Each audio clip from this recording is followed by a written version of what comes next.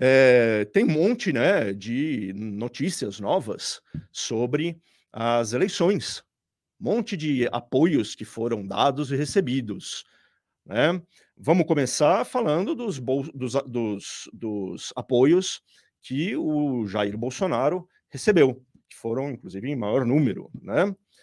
É, um apoio já esperado veio do governador recém-reeleito de Minas Gerais, o Zema. A gente tem até um vídeo é, para mostrar essa, essa declaração, né? Então eu estou aqui hoje para declarar o meu apoio à candidatura do presidente Bolsonaro, porque eu, mais do que ninguém, herdei uma tragédia. E não foi só o Estado, não. Perguntem aos atuais prefeitos de Uberlândia, de Pouso Alegre e outras grandes cidades do Estado que também tiveram uma gestão desastrosa do PT.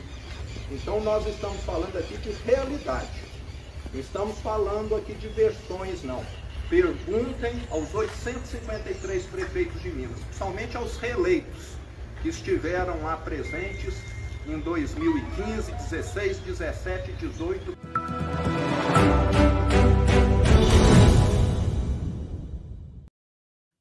Pois é, né? Para usar uma expressão de que a esquerda gosta bastante, o Zema tem lugar de fala, né? Para falar, para criticar a esquerda, porque é, o PT governou o estado que ele hoje governa e deixou as contas públicas na mais absoluta é, tragédia. Né? Não havia di dinheiro para pagar o funcionalismo público. É, e o Zema, de maneira muito competente, foi lá e botou ordem na casa. Ele menciona outros municípios que passaram também pela, é, pela máquina de moer gestão do PT e que, enfim, tiveram os piores resultados. É, o posicionamento dele é um posicionamento liberal, muito voltado né, para uma preocupação de ajeitar a administração pública, de botar ordem na casa. Ele enxerga isso de maneira mais clara, por experiência própria, a possibilidade né, de que isso aconteça no governo Bolsonaro, foi lá e deu o apoio.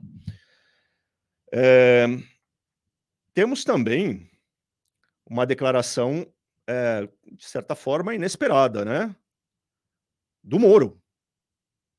E daí tem o, a declaração do Jair Bolsonaro, logo depois de saber que o Sérgio Moro tinha declarado que vai com ele nessas eleições. Vamos ver esse vídeo também.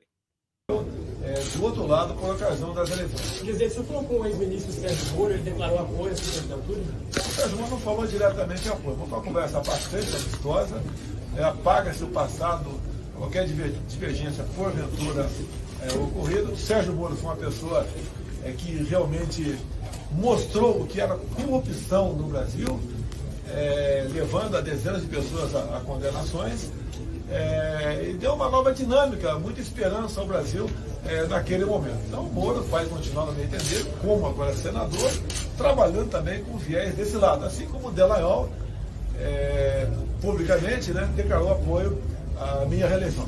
Tá, o senhor, o senhor fica confortável com essa mudança tão, tão radical no seu posicionamento? Porque quando o ministro deixou o governo, nós lembramos das declarações. O senhor fica confortável com essa mudança? Olha só, todos nós evoluímos.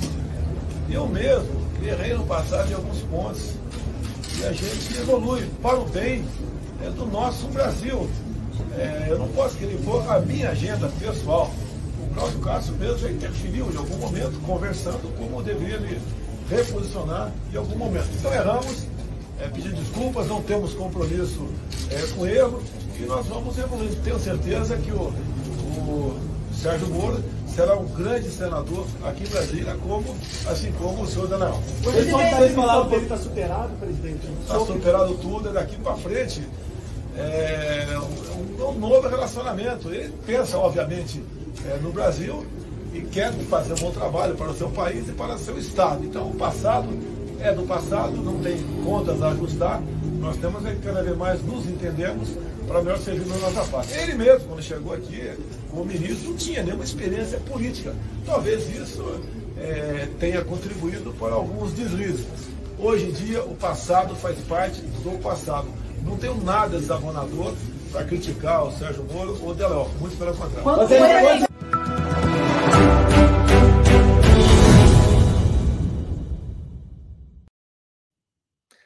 Bolsonaro diferente, né? Um Bolsonaro é, com uma certa, demonstrando uma certa humildade, falando de erros próprios, né? Um Bolsonaro generoso com é, alguém que, enfim, por boa parte do ano passado, desse ano, bateu de frente com ele, o criticou fortemente, né? É, é um lance, eu acho, significativo, importante para a campanha de segundo turno do, do Bolsonaro, não só o apoio do Sérgio Moro, mas a maneira como o Bolsonaro tratou esse apoio, né? é, tratando de deixar qualquer espécie de, de, de, diferença, divergência no passado. Acho que foi um, acho que foi um gol é, importante marcado pelo, pelo Bolsonaro hoje. É, bom, vocês viram ali enquanto o Bolsonaro falava, tinha um senhor ao lado dele, Cláudio Castro, governador também reeleito do Rio de Janeiro, que estava lá é, em Brasília, também manifestando o seu apoio ao Bolsonaro. Esse absolutamente esperado, né? Porque, enfim, os dois são do mesmo partido, tal seria, né? Mas é, o Cláudio Castro também. A gente tem vídeo sobre o Cláudio Castro? Não me lembro se a gente tem vídeo ou não. Tem? Nem tem, né? Mas eu acho que o, o, o importante do discurso do Cláudio Castro foi, enfim, ele ressaltou, ele, ele deu essa frase de efeito, né? Gratidão não prescreve, e ele reconheceu é, a importância que o apoio do Bolsonaro teve é, para o governo dele, né? E para essa reeleição que ele conseguiu é, de uma maneira até surpreendente, né? Todo mundo achava que essa eleição ia para o segundo turno, não foi. Ele liquidou a fatura logo de cara.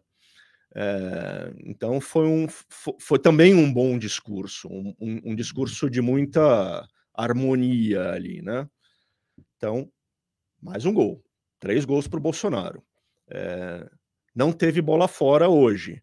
E daí vem a, a cerejinha né, do bolo, que é o, a, o anúncio de apoio do Rodrigo Garcia, candidato do PSDB, govern, governador de São Paulo, candidato do PSDB a se reeleger como governador e que foi derrotado, né? Ficou fora do segundo turno. O Tarcísio de Freitas passou é, como um trator por cima dele, né? Vamos ver o vídeo do Rodrigo Garcia. Esse a gente tem. Bom, pessoal, muito boa tarde. Nessa terça-feira, com muita honra, venho aqui receber o presidente Jair Bolsonaro no aeroporto de Congonhas para declarar o meu apoio e o meu voto nesse segundo turno ao presidente Bolsonaro. Durante toda a eleição de primeiro turno, eu disse que São Paulo é um estado desenvolvido, é um estado que dá oportunidade a todos, que ajuda quem precisa, porque o PT nunca governou nosso estado. E essa mesma avaliação eu faço em relação ao Brasil, eu não quero para São Paulo muito menos eu quero para o Brasil. Portanto, o meu apoio incondicional, o meu trabalho nesse segundo turno, para que o presidente Jair Bolsonaro possa se reeleger e continuar comandando ao lado da população os destinos dessa nação. Assim como aqui no estado de São Paulo, declarando o meu apoio, o meu voto pessoal e incondicional à candidatura do governador Tarcísio de Freitas, porque enxergo também nele não só o bom trabalho para São Paulo, mas também a condição de evitar que o Partido dos Trabalhadores ganhe as eleições aqui em São Paulo. Então, com muita alegria, nessa terça-feira, o apoio ao presidente Jair Bolsonaro e ao candidato e governador Tarcísio de Freitas, declarado e agora ao trabalho para ganharmos as eleições e poder deixar São Paulo e o Brasil em ótimas mãos.